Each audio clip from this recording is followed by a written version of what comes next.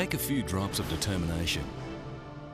Add ambition and a fearless instinct, tempered with calm coolness and controlled high-speed reactions.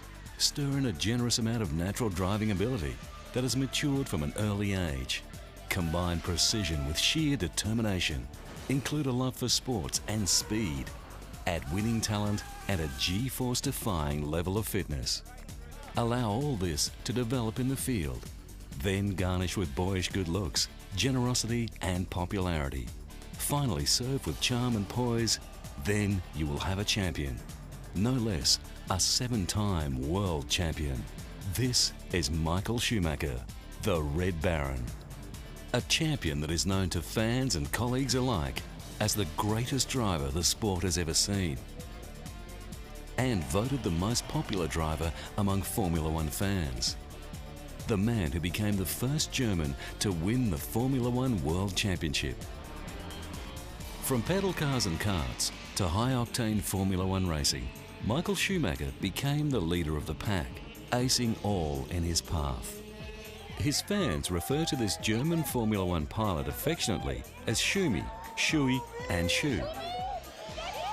But the Red Ferrari pilot has also become known as the Red Baron in deference to Manfred von Richthofen, the famous German World War I flying ace who also blitzed all in his path.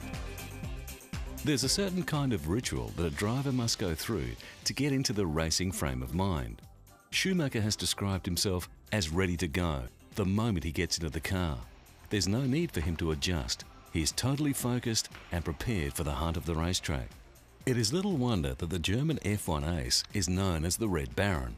His ice-cool attitude to stress, his dogged determination to take all in his path, and the bright red Ferrari has meant that the term has stuck.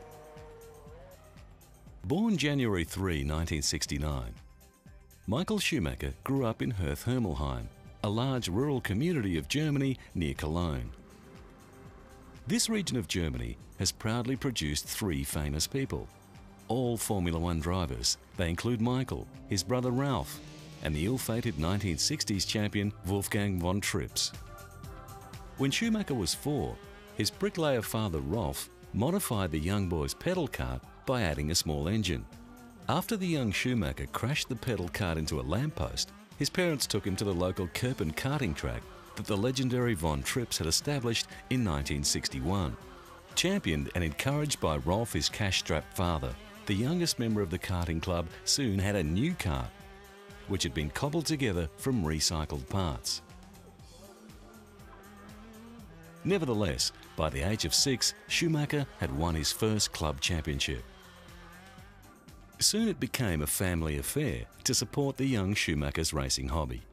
Mum Elizabeth worked at the track's canteen stand, while his dad took on a second job renting and repairing carts at the Kerpen circuit. By the age of 10, Schumacher's ability on the karting track had attracted the attention of a local sponsor, who, combined with the help of family and friends, supplied the necessary cash for him to continue in the sport. It was not long before the promising champion blitzed the entire karting field, chalking up victory after victory. By the end of the 1985 season, the German Junior Championship was his for the second year running. Now he was truly getting into his stride, with the 87 season culminating with his greatest achievements to date. Both the German and European Senior Kart Championship were his. All this success had not gone unnoticed. 1988 was a big year for the teenage Schumacher. He took his leave from school, began a career as a motor mechanic, and launched headfirst into Formula racing. His prowess and winning reputation at the helm of karts enabled him to attract further sponsorship and move into the high-speed world of open-wheel Formula racing. When former hotelier Willy Weber, a racing enthusiast and car salesman, invited Schumacher to test drive his Formula 3 car, the results convinced Weber to back the teenager's career. This was the beginning of one of the most successful management contracts of all time. For the next two years, funded by Weber, he competed in the German F3 series, winning the title in 1990. Towards the end of 1990, he joined the Mercedes Junior Racing program in the World Sports Prototype Championship. This was an unusual move for a young driver. Most of Schumacher's contemporaries would instead compete in Formula 3000 on their way to Formula One. However, Weber advised Schumacher that exposure to professional press conferences and driving powerful cars in long distance races would help his career. Two years later, he stood third on the dais of the German F3 Championship, but went on to win that title a year later. Finally, Michael was able to show the world what he had learned in his kart days. He won five times and later topped that by also winning the international races at Macau and Fuji. A year later also saw his Formula 3000 debut, where he finished second in the Japanese series. But it was enough to attract the eyes of many in the F1 market. With Weber at the helm of the burgeoning champion's career, Schumacher made his Formula One debut with the Jordan team at the 1991 Belgian Grand Prix. Despite retiring on the opening lap of the race with clutch problems, Schumacher had impressed the Jordan team on his first outing in an F1 car. He had qualified for a seventh grid position on a track that he had not driven beforehand. He had only ever ridden a bike around it. This was to be Schumacher's only race for Jordan, with rival team Benetton swiftly signing him up for the very next race. Schumacher finished the 1991 season with four points in six races. After overcoming contractual issues with Mercedes, Schumacher took his place on the podium for the first time at the 1992 Belgian Grand Prix. The race at Spa, a circuit that was to become his favourite track, showed for the first time his winning ability on a wet racetrack. He went on to finish the season in third place in the drivers' rankings with eight podium finishes. He continued with the Benetton team and in 1993 saw him win a superb race in Portugal, rounding off the season fourth overall.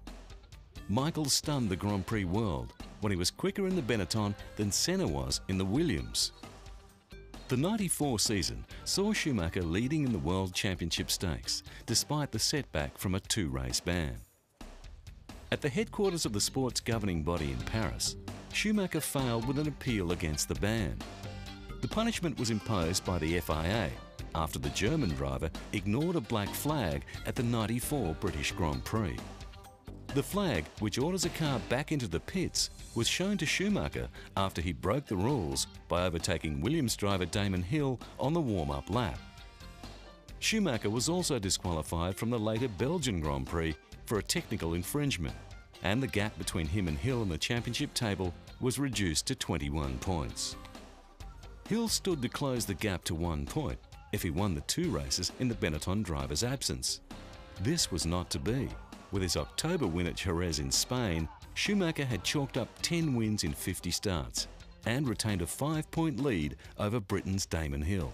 The youngest driver ever to compete for the World Championship, his confidence was subdued as they went into the Japanese Grand Prix at Suzuka.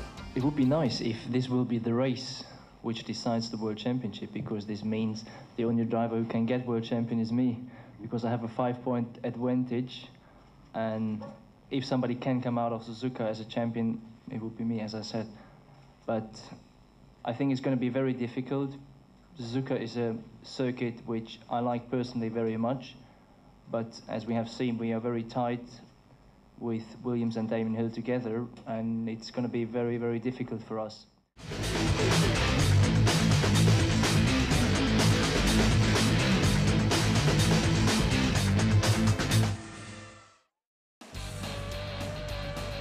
With Schumacher leading by a single point going into the final race of the year in Australia, the 1994 season, which had been marred by the deaths of Ayrton Senna and Roland Ratzenberger, drew to a close in dramatic fashion. The tensions had grown throughout the year after the allegations of cheating had been aired. The culmination of a down-to-a-wire contest for the championship between Schumacher and Hill was in sight. The Nigel Mansell victory at Adelaide was overshadowed by a crash between Schumacher and Hill, putting them both out of the race and subsequently deciding the world title. The 1994 Drivers' Championship was determined with Schumacher's 92 points, leaving him the narrow winner after a year of tragedy and drama. For the youngest ever driver and the first German to win the Formula One World Championship, the celebrations were short-lived. As the British tabloids saw that one of theirs had lost and they went on the attack. Amid growing controversy surrounding the circumstances of his win, a subdued crowd met the 25 year old world champion when his plane touched down in pouring rain at Frankfurt on his return to Germany. Schumacher said there were no hard feelings between himself and Hill, who both had to retire after the crash. Hill had congratulated him, and he did not get the feeling that Hill was bitter. It would have been better to have won the Australian race to win the title, as the crash was not a nice way to end it. Schumacher said he had steering problems throughout the race, but did not look in his mirror because he was concentrating so hard on the steering. By the time he saw Hill, it was too late to stop. But if Hill had waited, he could have overtaken later. Michael Schumacher offered his World Championship triumph to the memory of Ayrton Senna. Schumacher, in typical self depreciating manner, had shrugged off praise to honour the Brazilian champion. He said, It hasn't sunk in that I've won yet. I want to dedicate this victory to Ayrton Senna. I always thought he'd win the championship this year. For me, he was the greatest. Not to be put off by an international controversy, Schumacher's hometown of Kerpen celebrated in typical German fashion on their hero's return. A smiling Schumacher waved to 20,000 cheering fans. He was presented with a special medal of the town. For his fans, the Paris based FIA seemed a long way away. I know that uh, there have been some investigations in future situations. The 1995 season was just as successful. Schumacher effectively defended his title with Benetton. He took Benetton to its first Constructors' Championship and became the youngest two-time world champion in Formula One history. Schumacher now had Renault power to match the Williams and he dominated the season.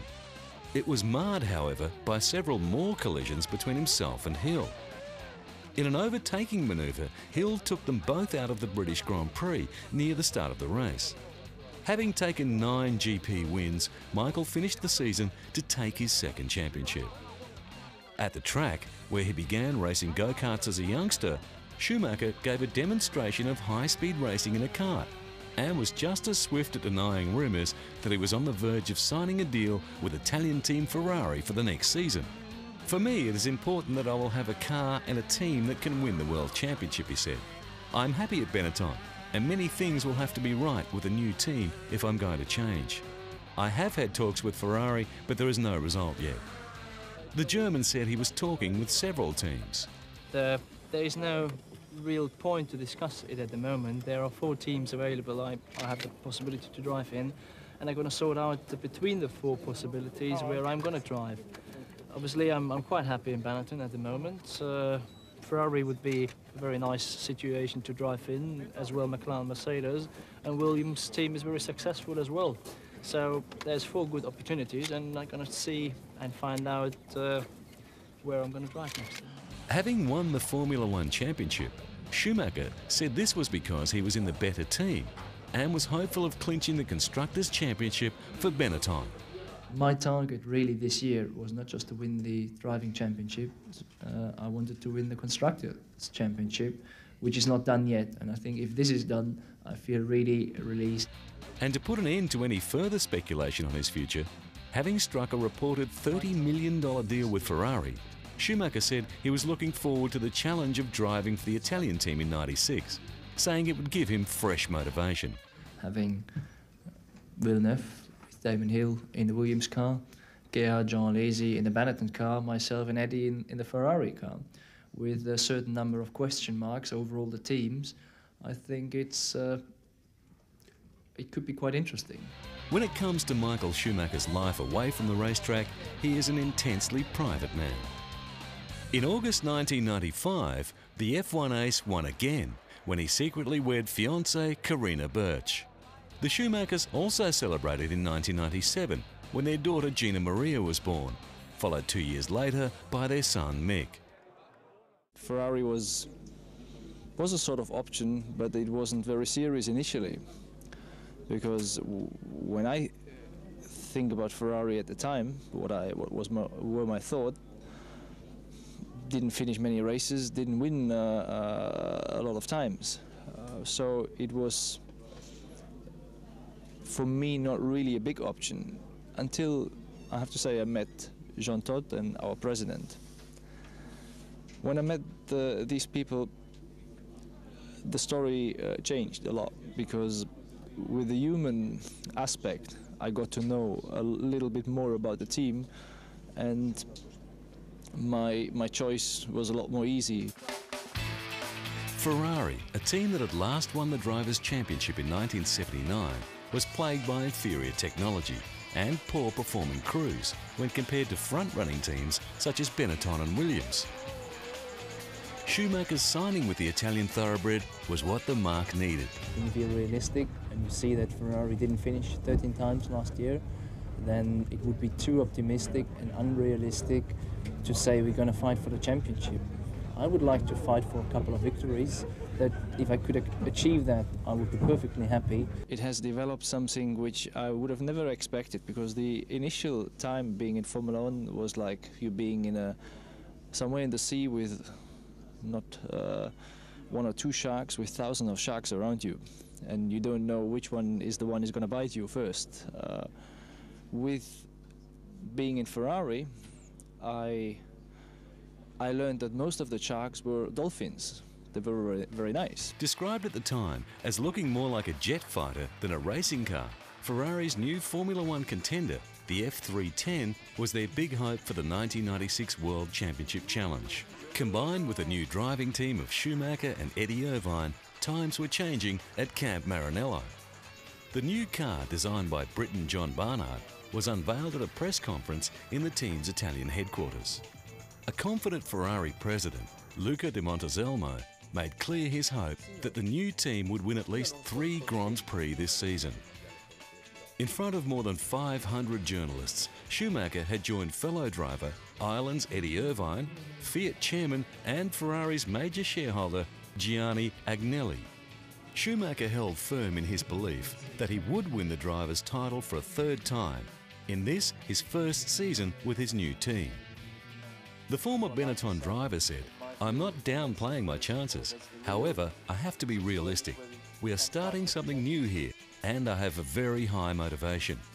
In fact, I spent four and a half years at Benetton, and I felt quite empty. We'd achieved everything together, and I needed a new motivation here, added Schumacher. Uh, I had the chance even to earn more money in another team. The money is, is one part. I want to be paid uh, what I feel I should be paid for the job I'm doing compared to other racing drivers. In 1996, Schumacher finished third in the Drivers' Championship, despite the team having reliability trouble, causing Schumacher not to finish six of the 16 races. True to his prediction, he won three races, more than the team's total tally for the period from 1991 to 1995. The first of these came at the Spanish Grand Prix where he lapped the entire field up to third place in the wet, using an uncharacteristically flamboyant oversteering style. The legendary Stirling Moss was to add later about Schumacher's driving in the 1996 Spanish Grand Prix. It was not a race, it was a demonstration of brilliance. And by the end of 97, Michael's bid for the World Drivers' Championship was thwarted when he had ended the season in controversy. Michael Schumacher and Jacques Villeneuve had fought for the title all year. Villeneuve, driving the superior Williams FW19, led the championship in the early part of the season. However, by mid-season, Schumacher had taken the championship lead, winning five races and entering the season's final Grand Prix with a one-point advantage.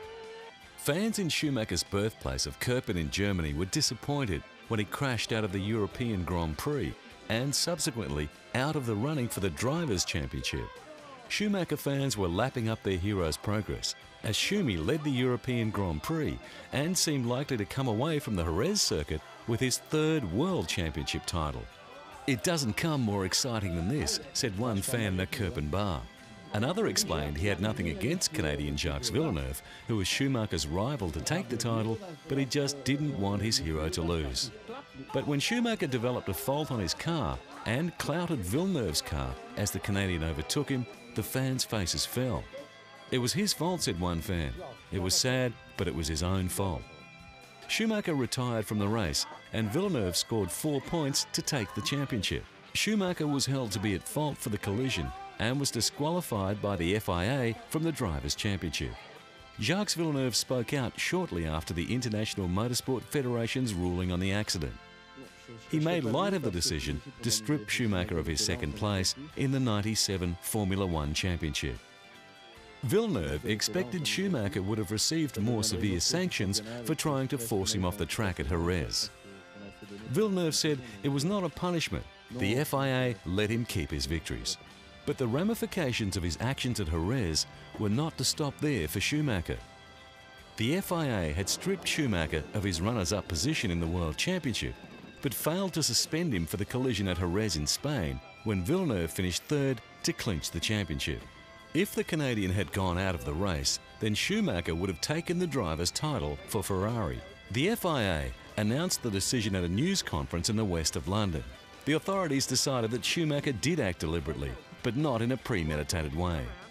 The exclusion of Schumacher from the 1997 championship meant he lost all points while preserving the race results.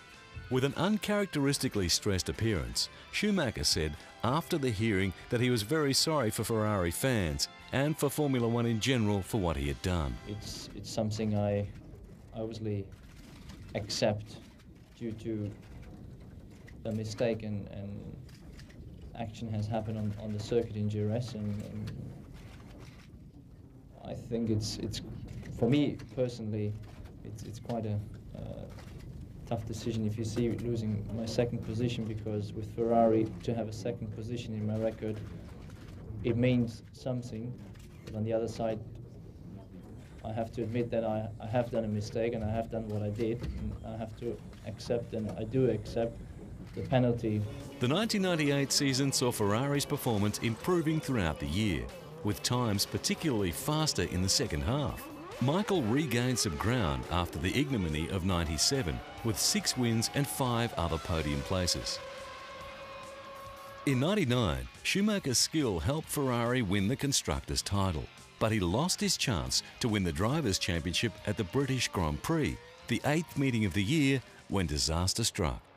Schumacher was flown to hospital with a broken right leg after suffering the biggest crash of his Formula One career at the Silverstone race. He had careered into a triple tyre wall at about 200 kilometres per hour after the race had already been red flagged to stop because driver Jacques Villeneuve had been left standing on the grid. He suffered a double clean break of the lower right leg and bruising to his chest.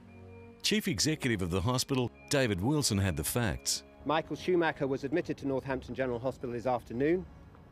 He was assessed by the surgical team and found to have sustained a straightforward fracture of the right tibia and fibula. Schumacher was second in the championship running at the time, behind Finnish world champion Mika Hakkinen, who had to retire at Silverstone with car trouble. Ferrari director Jean Todt added that Ferrari has still to investigate the cause of the accident and admitted the car might have had rear brake failure. We don't know precisely yet what had happened. Uh, probably he had a brake uh, problem, but we have to investigate. And of course, as soon as we will have further information, we will be able to let you know. Todt made the point that if it was not for the improved safety after the fatal crash with Brazilian Ayrton Senna at Imola in 1994, the consequences could have been much more serious. Schumacher has had a few big crashes in his career, the previous most serious being at Suzuka in free practice in 1993, the season before he won the title. In that incident, the German's car flew off the track at high speed, but he escaped serious injury. Back at the Northampton General Hospital, arrangements were made for an ambulance plane to take the injured driver to the Geneva airport. At the time, Schumacher had a home in the town of Vufflens-le-Chateau, Switzerland, and it was there that he was expected to start his recovery treatment at a local Swiss clinic. Motorsport's governing body, the FIA, announced that further safety measures may be implemented in Formula One as a result of Michael Schumacher's dramatic crash at the British Grand Prix. The FIA also revealed that the German Ferrari driver hit the triple tyre barrier at Silverstone at 107 km per hour, much slower than previous estimates suggested. It defended the gravel traps at the British circuit after leading drivers had criticised their effectiveness in slowing the Ferrari. The FIA said the accident data recorder in Schumacher's car revealed that the former world champion first braked at 306 kilometres per hour. At 240 kilometres per hour, the front wheels locked. By the time he had left the tarmac, the deceleration had fallen to 1.3 g, equal to 35.3 kilometres per second. The average deceleration in the gravel trap was 1.1 g. The speed of impact at the tyre barrier was 107 kilometres per hour. The FIA said a great deal of information had been obtained about the events after the impact with the triple tyre wall, and this would be carefully analysed. FIA President Max Mosley said that despite huge leaps in car safety, since Brazilian Ayrton Senna died at the 1994 San Marino Grand Prix at Imola, Schumacher's head still hit the steering wheel of his car in the impact.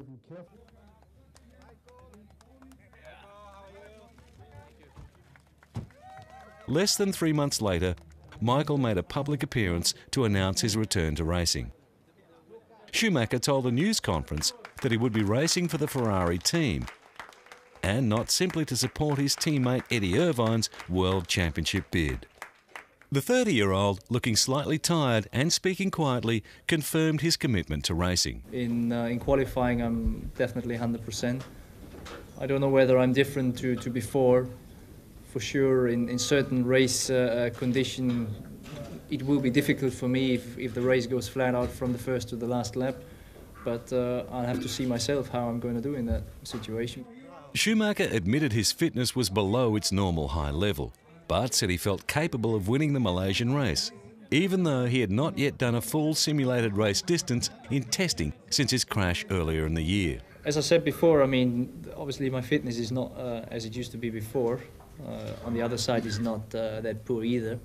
And hot weather, tough race uh, for sure can affect on one side, and various weather circumstances you're never able to predict them in a, in a 100% certain way. So if there's going to be rain, dry, rain, dry, and uh, uh, or a thunderstorm, you never know what will be the right decision. So it can affect everywhere.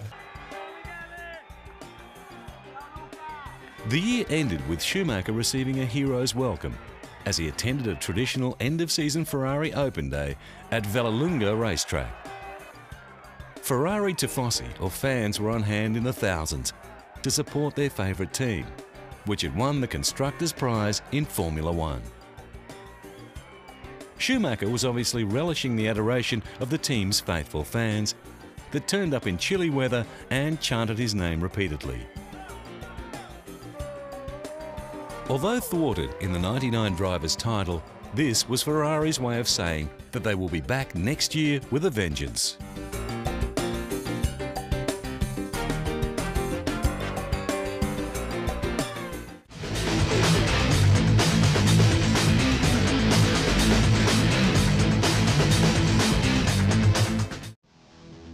The new millennium ushered in a new era and a change of fortune for the Red Baron. Schumacher had recovered from injury and controversy, and his winning drives were reminiscent of the heady World Championship years of the mid-90s.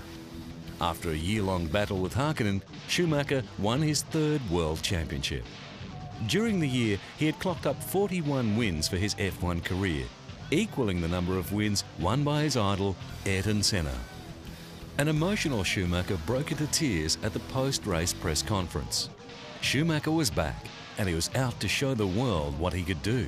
Michael Schumacher has shown such dominance right from the beginning of the season. Ferrari car is probably better than it's been ever before, so you see a huge influence on his own technical ability inside the team. Um, and I think we should just enjoy him because he is the world's best driver, and while he's around, um, I, I, th I, think for sure he will be the champion. In a season that saw only four other drivers win races, 2001 continued the run for the record-breaking Schumacher, with the first ever 1-2 finish by brothers in Formula One after the Canadian Grand Prix, where Schumacher finished second to his brother Ralf. And he also topped Alain Prost's record for most career wins. Schumacher scored his 52nd career win at the Belgian Grand Prix and took his fourth driver's title with four races yet to run. He had finished the championship with 123 points, 58 ahead of nearest rival Coulthard, and won a record-tying nine times. 2002 continued to be a year of domination for Ferrari and champion pilot Schumacher, despite suffering the embarrassment of a $1 million fine from the FIA after the Austrian Grand Prix, when teammate Rubens Barrichello had slowed under team orders and allowed Schumacher to win the race. Jeered and booed by fans on the podium, Schumacher stood back to let Barrichello take the winner's cup. The Tifosi were back on Schumacher's side when he took the French Grand Prix and equalled the record of the 1950s champion Fangio. The Argentinian Juan Fangio was considered the best driver of all time, taking the driver's title five times between 1951 and 1957. Ferrari won 15 out of 17 races, and Schumacher won the title with six races remaining in the season. Schumacher broke his own record of nine race wins in a season, shared with Nigel Mansell, by winning 11 times and finishing every race on the podium. He finished with 144 points, a record breaking 67 points ahead of the runner up, his teammate Rubens Barrichello. The 2003 season started with an outcry from Formula One teams, accusing the FIA of trying to dumb down Formula One. The FIA had introduced a host of rule changes, including one lap to qualify and no refueling between qualifying and the race. Engineers would no longer be able to remap settings using telemetry and traction control, and launch control systems would also be phased out. The reigning Formula One champ said the rule changes would not have a dramatic impact on the outcome of races. Michael said he enjoyed the benefits of high-tech assistance, but had plenty of experience of driving without them under previous regulations. For me, I prefer the one where you have all the technical possibilities because I don't like to take compromises in the race car. I like to make a race car as fast as possible and uh, all the electronics have helped that. But obviously that's the same for everyone and if that changes then it's again the same for everyone. I've dealt with uh, the other system before so I will deal with them as they come. Schumacher was convinced a good team would remain a good team whatever the rules. So I don't see that I should, or any any good driver should uh, take the advantage by by a big by a big amount. The only way I could see that, and I would agree, is in the rain condition, because in the rain condition, um, I believe without traction control in particular, it will be very very difficult, and uh, you need a lot more feeling in order to to be uh, on on the pace. At the same time, it will be quite a bit more dangerous, but uh, that has been in the past the same, and uh, we have to deal with that. So it's going to be a little bit more exciting. Throughout his racing career, Schumacher has attracted the unofficial title of the Rain Master. After finishing third in the 1992 Mexican Grand Prix, he went on to take his first victory at the 1992 Belgian Grand Prix in a very wet race at the Spa-Francorchamps circuit. By 2003, he would call this circuit far and away his favourite track. He took his first win for Ferrari at the Spanish Grand Prix in the wet, where he lapped the entire field up to third place using an uncharacteristically flamboyant oversteering style. The Ferrari driver believed that some of the younger drivers would struggle without high-tech driving aids. He added that the younger drivers with little or no experience of driving without electronic aids would probably be the first to suffer from the new rules. It will change for some young drivers who seem to get on very easy with Formula One at the moment to a certain speed. That will change because uh, with the amount of power we have, with the amount of grip we have, if you imagine that we don't have all those uh, technical possibilities, which I'm sure they save uh, uh quite a lot of uh, problems for, for young uh, comers in Formula One because they, they be supported with all the systems and you can make a car very safe. Not the fastest, but, but safe. And they get the feeling and you can get them into the system. So that will be a lot more difficult in my view. Later in the year, rumours were rife that Schumacher intended quitting Formula One. There is nothing else I, I would wish to do. And as long as I'm competitive, as long as I love uh, to do what I'm doing, there is no need to, to think about uh, stopping it. 34 year old Schumacher repeatedly had to fend off questions about his future. The main point is simply the love of the sport. Honestly, what could what could be better than to do what you love to do, to do it in a team where you be friends with, with everybody, and and just things go smoothly. At the time, Schumacher needed just one point to overtake Juan Manuel Fangio's record and claim an unprecedented sixth world title. The 2003 season for the reigning champion had not got off to a good start. In fact, Schumacher ran off the track in race one and in the following two was involved in collisions. By race four, he was starting at a 16 points drop behind Kimi Raikkonen. Pulling himself back from the abyss, Schumacher won at San Marino Grand Prix and the next two races and closed within two points of Raikkonen. By mid season, Schumacher's further win in Canada had been eclipsed by a dominating Williams team. His brother Ralf and Juan Pablo Montoya had clocked up two wins apiece. By the final round of the year in Japan, with Montoya out on penalties after the US Grand Prix, only Schumacher and Raikkonen remained in contention for the title. Schumacher needed only one point, whilst Raikkonen needed to win. By finishing the race in eighth position, Schumacher gained the necessary point, two ahead of Raikkonen, and assured his place in the record books with his sixth World Drivers' title. With four years of unprecedented success behind them, Ferrari were heading into 2004 confident they would continue with their top achievements. Basically, I foresee a very tough competition for, for this year. We know our rivals are strong, but we will be strong too. Uh, I have no doubt. Taking the winner's podium in 12 of the first 13 races of the season, Schumacher recorded his seventh driver's title at the Belgian Grand Prix. Now, my life in Formula One is just very relaxed and easy and nice. I just enjoy the time being here. We have a great success. My private life has been uh, turning out in a fantastic way.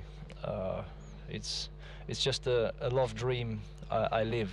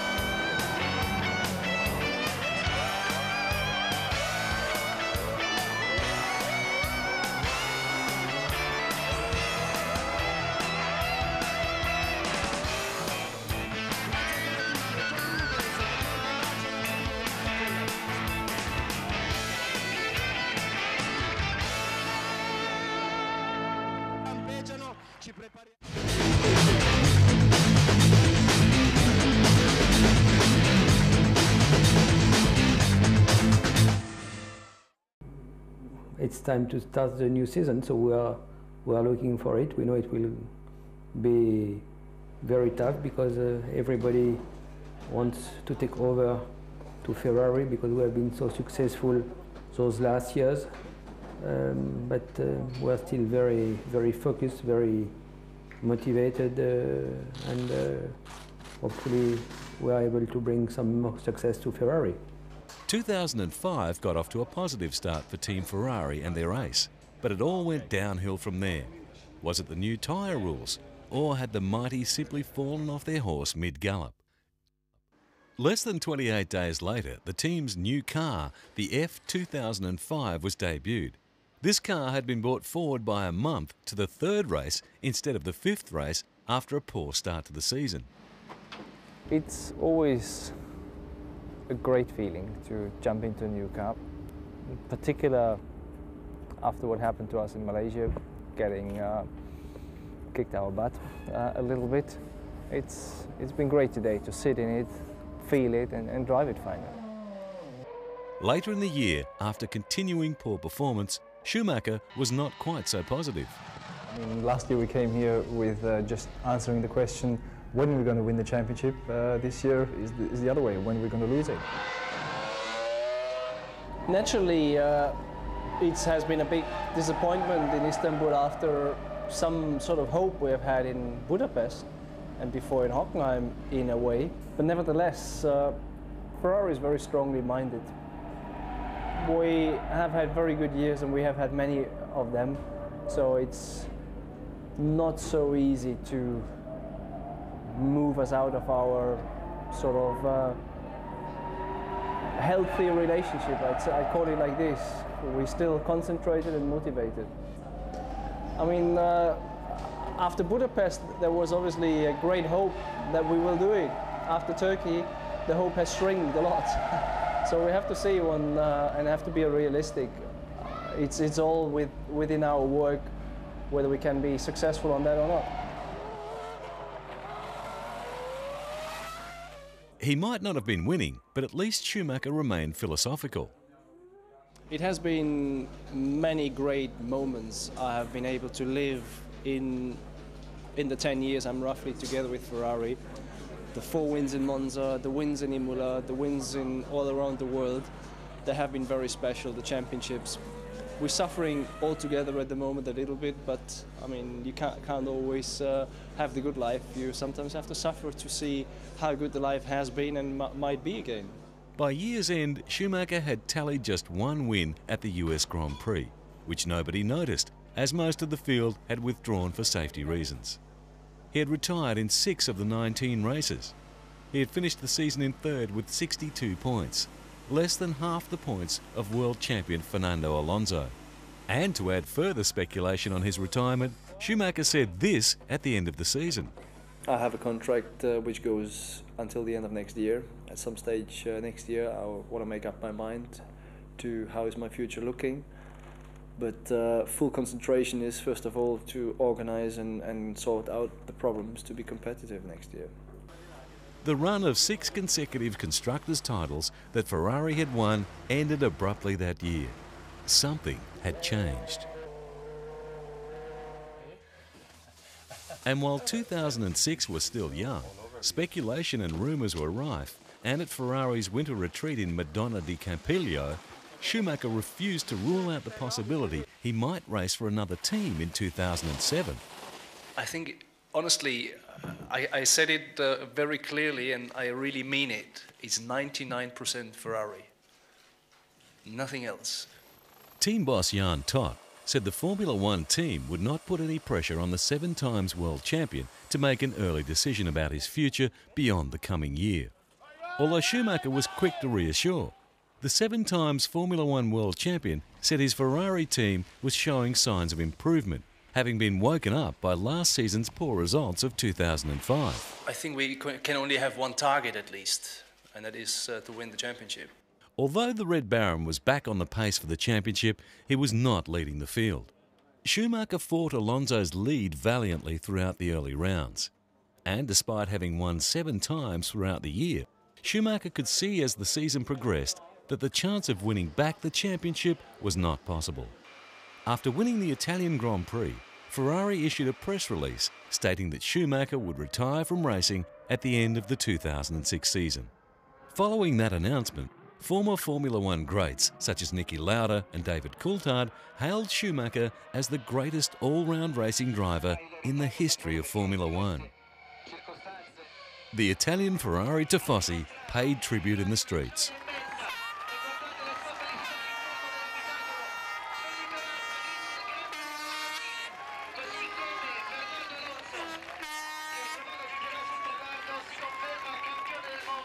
And back home, the German fans were distraught. For most of them, an era had come to an end.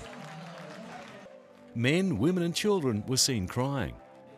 Holger Hofmeyer, a 35 year old professional soldier, said Michael is really a likeable guy. He's a warm hearted person, honest and open, and the world's best race driver. Germans like that. I liked it, my children liked it, my entire family. There is only one true race driver, Michael Schumacher.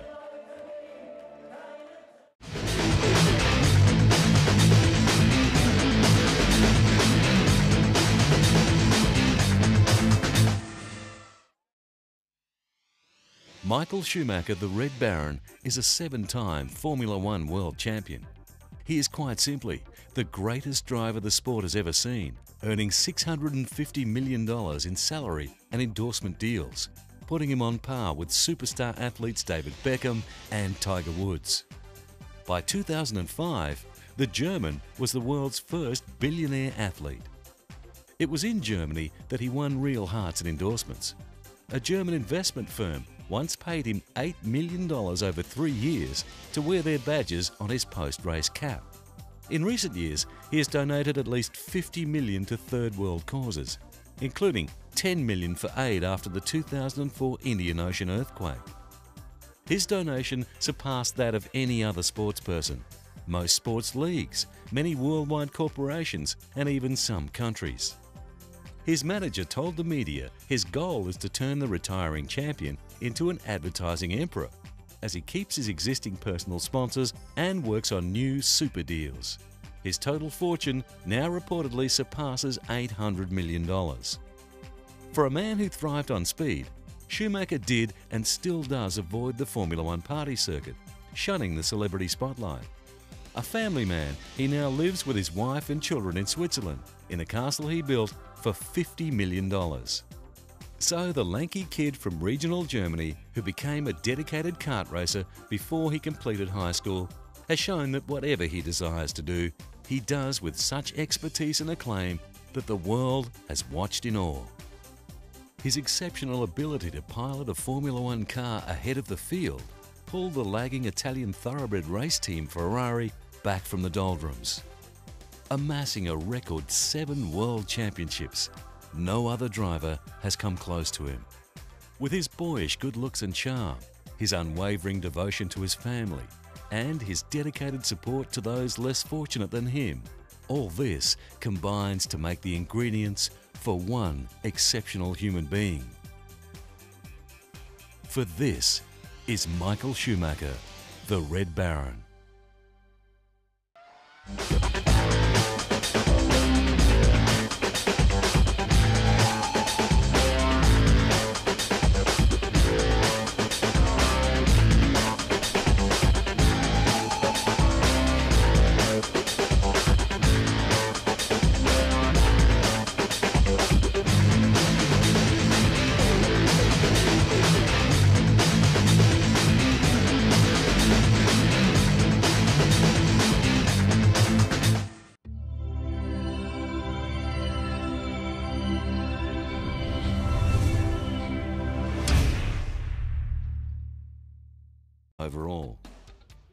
Stunned the Grand Prix world when he was quicker in the Benetton than Senna was in the Williams.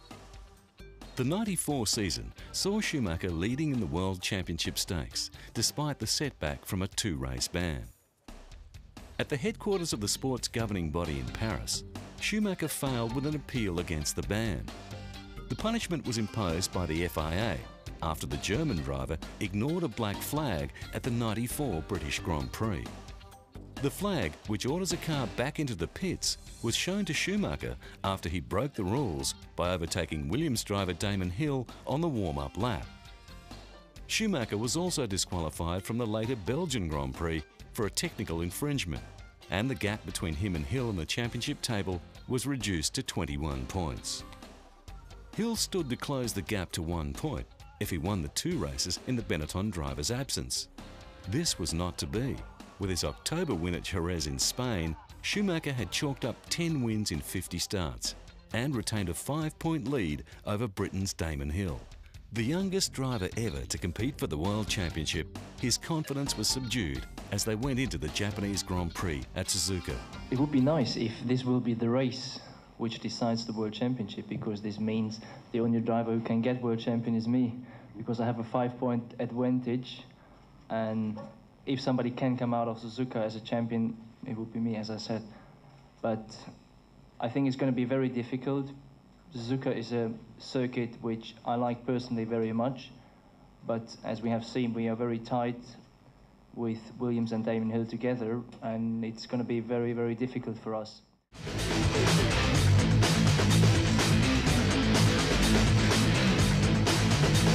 Teen stand while his dad took on a second job renting and repairing carts at the Kerpen circuit.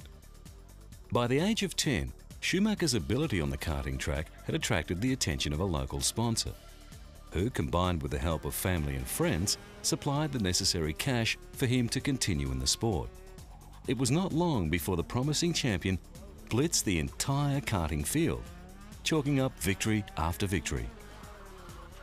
By the end of the 1985 season, the German Junior Championship was his for the second year running. Now he was truly getting into his stride, with the 87 season culminating with his greatest achievements to date. Both the German and European Senior Kart Championship were his. All this success had not gone unnoticed. 1988 was a big year for the teenage Schumacher. He took his leave from school, began a career as a motor mechanic, and launched headfirst into Formula racing. His prowess and winning reputation at the helm of karts enabled him to attract further sponsorship and move into the high-speed world of open-wheel Formula racing. When former hotelier Willy Weber, a racing enthusiast and car salesman, invited Schumacher to test drive his Formula 3 car, the results convinced Weber to back the teenager's career. This was the beginning of one of the most successful management contracts of all time. For the next two years, funded by Weber, he competed in the German F3 series, winning the title in 1990. Towards the end of 1990, he joined the Mercedes Junior Racing program in the World Sports Prototype Championship. This was an unusual move for a young driver. Most of Schumacher's contemporaries would instead compete in Formula 3000 on their way to Formula One. However, Weber advised Schumacher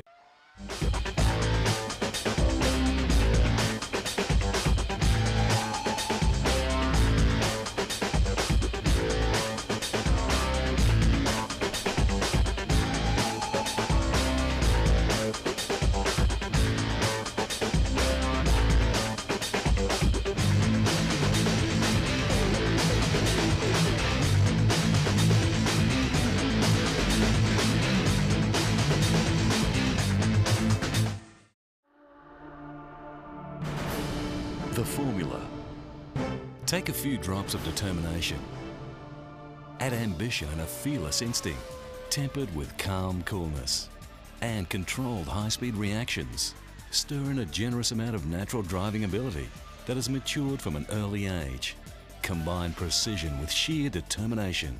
Include a love for sports and speed. Add winning talent and a G-force defying level of fitness. Allow all this to develop in the field. Then garnish with boyish good looks, generosity and popularity. Finally serve with charm and poise. Then you will have a champion. No less, a seven-time world champion. This is Michael Schumacher, the Red Baron. A champion that is known to fans and colleagues alike as the greatest driver the sport has ever seen and voted the most popular driver among Formula One fans. The man who became the first German to win the Formula One World Championship. From pedal cars and carts to high-octane Formula One racing, Michael Schumacher became the leader of the pack, acing all in his path. His fans refer to this German Formula One pilot affectionately as Schumi, Shui and Shu. But the red Ferrari pilot has also become known as the Red Baron, in deference to Manfred von Richthofen, the famous German World War I flying ace who also blitzed all in his path. There's a certain kind of ritual that a driver must go through to get into the racing frame of mind. Schumacher has described himself as ready to go the moment he gets into the car. There's no need for him to adjust. He is totally focused and prepared for the hunt of the racetrack. It is little wonder that the German F1 ace is known as the Red Baron. His ice-cool attitude to stress, his dogged determination to take all in his path, and the bright red Ferrari has meant that the term has stuck. Born January 3, 1969, Michael Schumacher grew up in Hürth-Hermülheim, a large rural community of Germany near Cologne. This region of Germany has proudly produced three famous people. All Formula One drivers. They include Michael, his brother Ralf, and the ill-fated 1960s champion Wolfgang von Trips. When Schumacher was four, his bricklayer father Rolf modified the young boy's pedal cart by adding a small engine.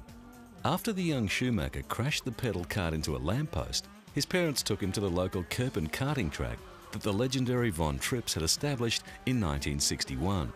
Championed and encouraged by Rolf, his cash-strapped father, the youngest member of the karting club soon had a new kart, which had been cobbled together from recycled parts. Nevertheless, by the age of six, Schumacher had won his first club championship. Soon it became a family affair to support the young Schumacher's racing hobby. Mum Elisabeth worked at the track's canter that exposure to professional press conferences and driving powerful cars in long distance races would help his career. Two years later, he stood third on the dais of the German F3 Championship, but went on to win that title a year later. Finally, Michael was able to show the world what he had learned in his kart days. He won five times and later topped that by also winning the international races at Macau and Fuji. A year later also saw his Formula 3000 debut, where he finished second in the Japanese series. But it was enough to attract the eyes of many in the F1 market.